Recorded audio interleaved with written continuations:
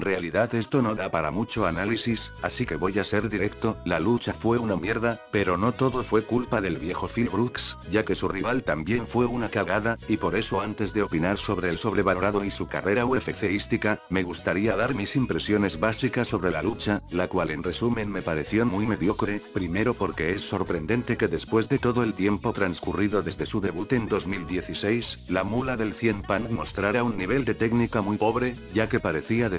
intentando llevar al piso a su rival, pero una vez en el suelo el fulano parecía no tener una idea clara de lo que quería, ya que se escurría intentando aplicar un candado que nunca logró cerrar. Físicamente fue un asco, desde el primer round se le notó exhausto y finalizó el tercero prácticamente sin aliento y todo el tiempo con una postura erguida demostrando estar abatido. Me gustaría decir que el loco Benoit le estaba jalando las patas, pero no fue así, porque el tipo es realmente malo.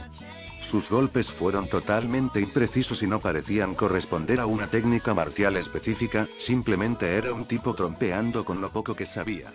Lamentablemente, si se le vio...